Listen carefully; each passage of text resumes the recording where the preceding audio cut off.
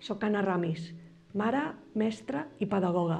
El 2019 vaig engegar la campanya de 03 Pantalles Res, que finalment s'ha acabat plasmant en un llibre editat en català per Eumo i en castellà editat per Octaedro. I el 2022 vam impulsar amb un grup d'11 professionals la campanya El Manifest Infància i Pantalles per conscienciar la societat de la prevenció que cal tenir utilitzant dispositius digitals abans dels 6 anys de les criatures. Bé, en aquesta càpsula el que farem serà aportar-vos informacions i criteris que segur que us seran útils com a educadors, educadores i que podreu transmetre en el vostre diàleg amb pares i mares de família famílies dels infants més petits. Som-hi! El primer que ens cal saber és que els hàbits digitals dels pares, les mares, de tots els adults que estan a l'entorn dels nens i nenes condicionen i molt la seva arribada al món que ara en diem digital. No és que els infants siguin digitals. El que és digital és l'entorn a on arriben. És que la mare, el pare, tenen molt abans de que arribés la criatura molt temps de dedicació a fer atenció als dispositius digitals, sigui per feina, sigui per distreure's, sigui per connectar amb amb amics, sigui per passar l'estona i de relaxar-se. El fet és que quan arriba una criatura a un entorn familiar,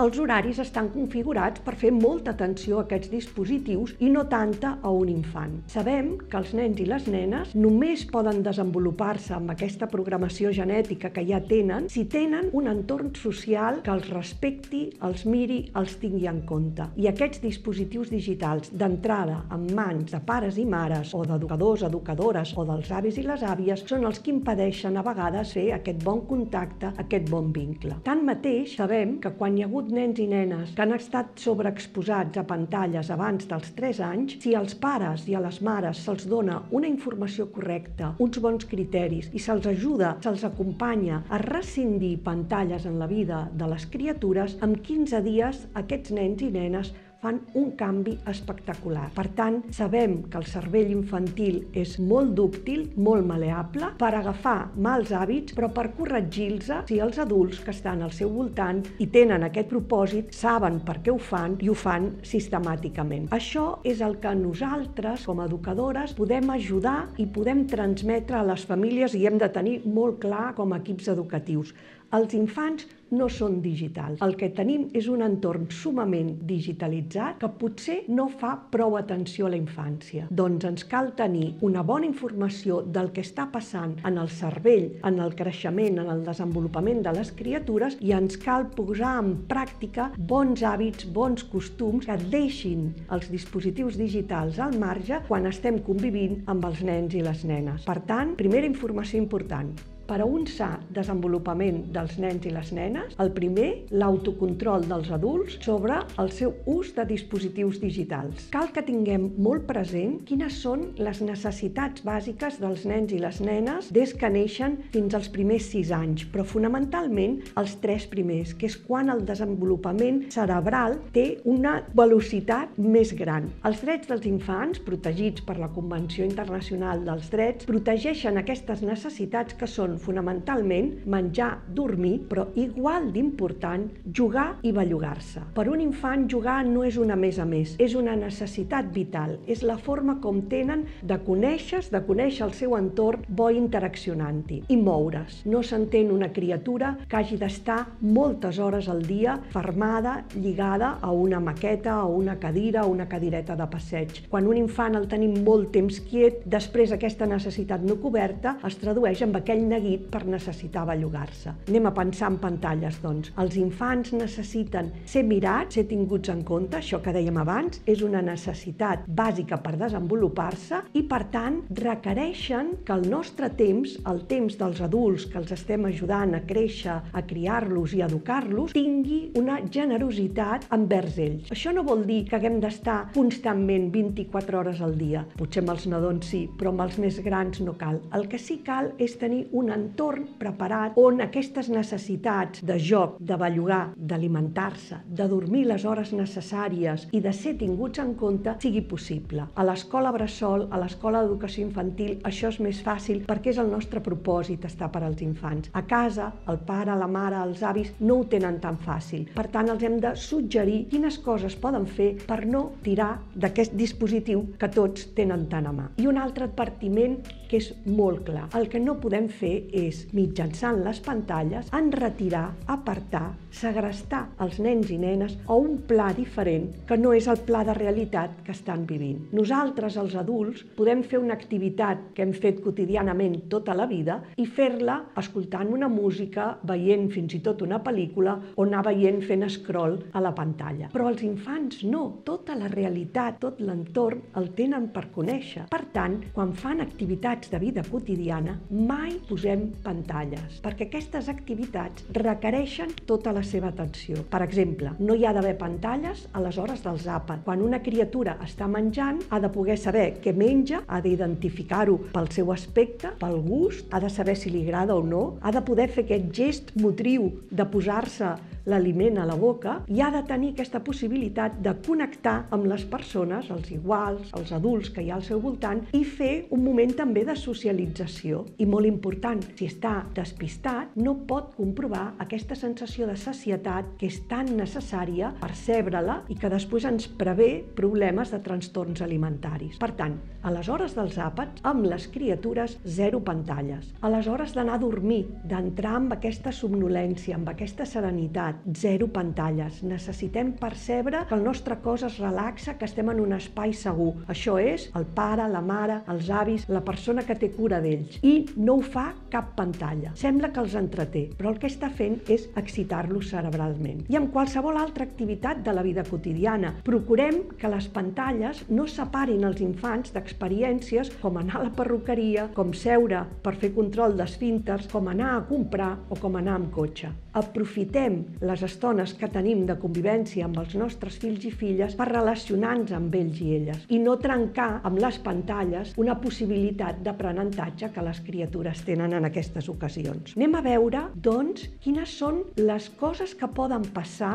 aquests efectes, aquestes conseqüències negatives que pot passar quan una criatura tan petita, abans dels 3 anys, ha estat exposada massa temps o en ocasions poc oportunes, això seria el mal ús ús de pantalles a dispositius digitals. Les hem classificat en tres grups i d'aquestes, de totes, ja n'hi ha evidències científiques. Fixeu-vos, a nivell cerebral sabem que les criatures estan, el cervell de les criatures està preparat per detectar canvis de llum, de so, d'imatge, de color, d'intensitat. Què són les pantalles? Un canvi continuat de llum, de so, d'imatge, d'intensitat. El cervell de les criatures els encanta a partir dels 3 mesos, quan quan ja passen per davant d'una pantalla, es queden allà captivats. Com més temps d'exposició a les pantalles, com que el canvi de pla és molt ràpid, aquest cervell s'acostuma, s'addicciona a aquest canvi ràpid. I quan tanquem les pantalles, aquest cervell que queda accelerat li costa molt tornar a assimilar la realitat lenta, la realitat normal de la interacció de les persones amb el món. Aquí tenim infants, nens i nenes que des de molt petits diuen m'avorreixo. Avorrir-se ha de ser un gust, ha de ser un plaer, no una necessitat fruit de l'excitació cerebral. Una altra causa d'aquests problemes a nivell cerebral. Sabem que les pantalles, tot el que hi ha en les pantalles, està fet perquè ens hi quedem el màxim d'estona possible, i els infants també. I sabem que cada vegada són de maneig més fàcil. Movent un dit, moltes persones els sembla que les criatures són molt llestes perquè movent un dit saben buscar unes fotografies o buscar-se uns dibuixos que els agraden. No ens enganyem. Els que són molt llestos són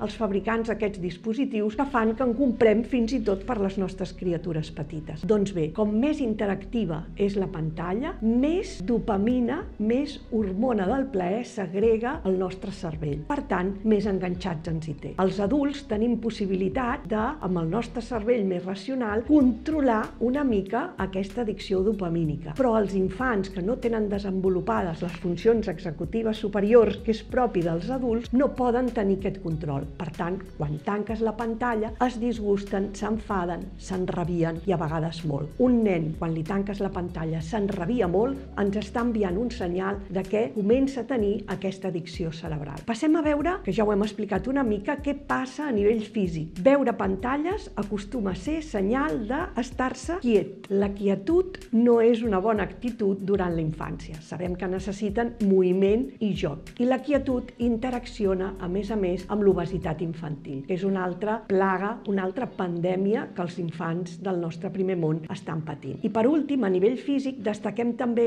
els problemes de visió. El nervi òptic, que neix immadur, necessita poder anar enfocant progressivament més lluny cada mes, cada temporada que passa, i plantifiquem una pantalla a 30 o 40 centímetres de la mirada de l'infant i el nervi òptic no acaba de desenvolupar aquesta mirada lluny. Per tant, tenim cada vegada més criatures amb miopia. La miopia es pot arreglar amb ulleres, em direu, però és que les miopies es detecten a cicle inicial o cicle mitjà de primària i ja tenim nens que estan començant l'ensenyament obligatori amb un hàndicap, que és que no s'hi veuen prou bé. I per últim, i també n'hem parlat, les conseqüències que hi ha a nivell de desenvolupament relacional i emocional. Ho hem dit, les pantalles ens treuen temps de relació i amb els infants aquesta relació és temps de vincle amb les persones significatives i vincle ben construït és un marc de salut mental i de seguretat. Les pantalles que ens treuen temps de relació treuen possibilitats de desenvolupar el llenguatge i llenguatge i pensament estan molt, molt relacionats i les pantalles ens donen menys possibilitats d'aprendre a regular les nostres emocions i les nostres relacions. Quan a casa o a l'escola unes criatures es barallen, amb la paraula i amb l'ajuda d'un adult poden regular el que ha passat. Si quan unes criatures es barallen els posem davant d'una pantalla, no regulen res. Tornen a quedar separats, agrestats de la seva realitat. Veieu que una criatura que té un vincle més feble, una, un desenvolupament més pobre del llenguatge i unes relacions emocionals menys regulades és un context en el que només que passi alguna coseta més es posa en entredit la salut mental d'aquesta criatura. Per tant, aquestes conseqüències ben explicades, els pares i les mares ens haurien d'ajudar a frenar aquest mal ús de pantalles. Ho veurem en el resum. Cal difondre de manera molt clara quines són les conseqüències de l'abús i el mal ús de pantalles. Si no tenim aquesta informació, si les mares i els pares no tenen aquesta informació, és molt difícil que es posin a actuar. Seguim. La pregunta que moltes mares i pares ens fan és doncs, quanta estona de pantalla podem deixar als nostres nens i nenes perquè no els faci mal. Mireu, l'Organització Mundial de la Salut fins al 2016 deia abans dels dos anys res de res. En aquest document de la Generalitat de Catalunya de l'any 2022 ja diu que abans dels 3 no és gens aconsellable posar pantalles. Però com que som conscients de que pantalles n'hi ha en l'entorn on les criatures estan convivint, el que hem de prendre consciència és això que ens diu aquesta psicòloga argentina. Quan es tracta de pantalles i d'infants, allò que ens és més fàcil és el que ens acaba sortint més car. Per tant, alguns consells molt simples de quan hi ha pantalles, com ho podem fer per no tornar-nos a, a viure al segle XVII-XVIII, sinó com gestionar la infància dels nostres fills en aquests contextos. Mireu, quatre coses molt senzilles. Una, si fem servir les pantalles per comunicar-nos amb els avis, amb família que està lluny, o amb el pare i la mare quan no són a casa per dir bona nit, això no és un mal ús de pantalles. Al revés, fa vincle entre nosaltres i li donem una utilitat bonica. Un segon ús, quan volem veure fotografies o vídeos d'experiències viscudes junts. No és qüestió de fer una fotografia i ensenyar-la de seguida. Això estimula aquesta immediatesa que no volem, sinó que podem seure 5 minuts, 10 minuts amb el nostre infant i junts, a partir dels 3 anys, començar a mirar un vídeo del Nadal passat, unes fotografies de l'estiu passat. Fem memòria, recordem qui hi havia, fem vincle i fem llenguatge. 5-10 minutets, tanquem i és una bona experiència digital. Tampoc es pot descartar, com a experiència digital, començar a fer un bon consum d'oci digital. Per tant, pare i mare, educadors, seleccionem molt bé què volem que vegin els nostres fills i filles, amb criteri de valor. Si a casa som feministes, no posarem uns dibuixos en què les personatges femenines tinguin un paper molt galdós. Mirarem primer nosaltres sempre el que hem d'oferir les nostres criatures i els oferirem gaudir amb ells, sempre acompanyats,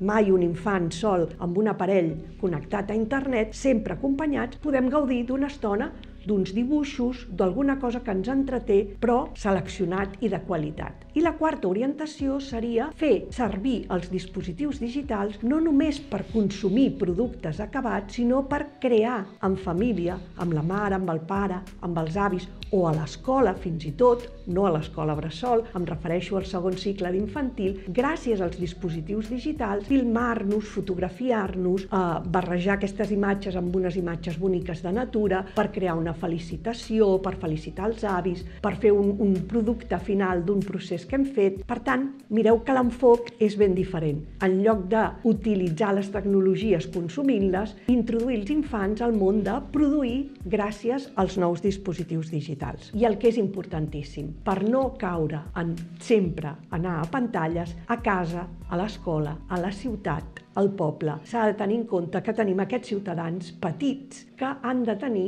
elements per jugar, per distreure's, per interaccionar, que són de cost zero. Les capses de cartró. No llanceu ni una sola capsa de cartró. Deixeu que les nenes i els nens hi juguin abans. L'armari dels tàpers de la cuina, els jocs de falda i les cantarelles, que importants són en totes les cultures del món i totes en tenen. Demaneu als avis i les àvies que ens les recordin. I després, totes les activitats de joc inespecífic amb objectes eh, dels que hi ha a l'entorn perquè els nens i nenes puguin jugar a l'aire lliure, que és importantíssim. Hem dit quatre alternatives, hem dit aquestes possibilitats i el que ara us dic és si és difícil per fer-ho només una família, si una família sola no es veu encoratjada, no té prous pistes, no sap com sortir-se'n, facilitem que hi hagi reptes d'equip. Facilitem que els grups de mares i pares d'un nivell de l'escola bressol, d'un nivell del segon cicle d'infantil, el grup d'amics, el grup de la família,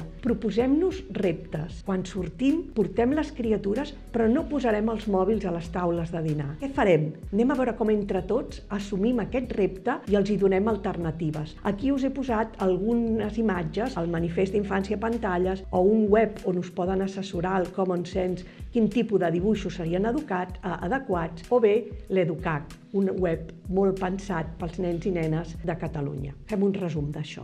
Com fem una criança respectuosa en un context molt digitalitzat, sent molt curosos del que veuen els nostres fills, tenint sempre moltes alternatives preparades i comptant amb la tribu. No només ens hem de carregar pare i mare, tota la tribu col·labora. Resum final. A les mares, als pares, a les educadores, a tot el món, avui ens és molt fàcil utilitzar dispositius digitals. No cal amagar-los, no cal fer-lo fora de la nostra vida, però sí que hem de tenir molt present que el desenvolupament sa dels infants, almenys en la petita infància, almenys abans dels 3 anys, ha de ser molt curós i, per tant, el nostre ús i l'ús que en fan les criatures ha de ser sumament restringit. Segur que podrem, perquè cada vegada hi ha més famílies que ho fan i més ciutadania conscienciada. Els drets dels nens i les nenes no tenen veu pròpia, necessiten la nostra. Contem amb tots. thank you